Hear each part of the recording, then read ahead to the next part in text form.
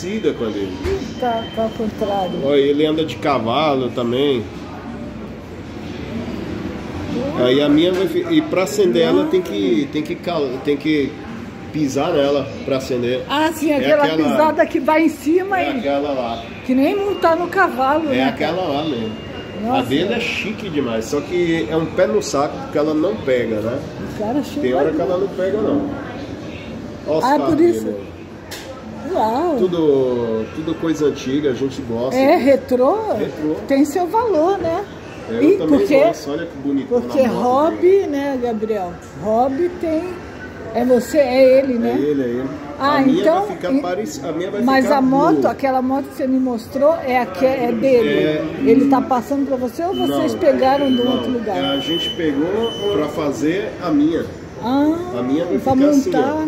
que nem aquele programa americano que É tem. isso mesmo, cara. A minha vai ficar assim, ó. Nossa, deixa eu mostrar aqui. Nossa, que Ela vai ficar desse jeito Gente, aqui. Gabriel é demais.